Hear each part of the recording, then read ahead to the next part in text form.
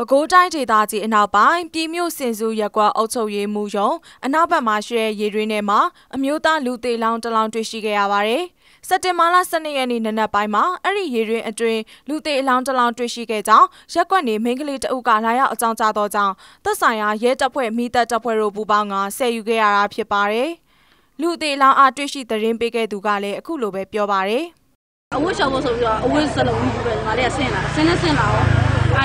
င်လို့လည်းပေါ့ရေဘုံကမမြင်ရတဲ့အမှလူရပေါ်လိုက်တယ်တော့အဲလူသေးလူသေးဆိုတက်လာပြီးတော့ရုံးကိုသွားပြီးတော့ဥက္ကဋ္ဌကို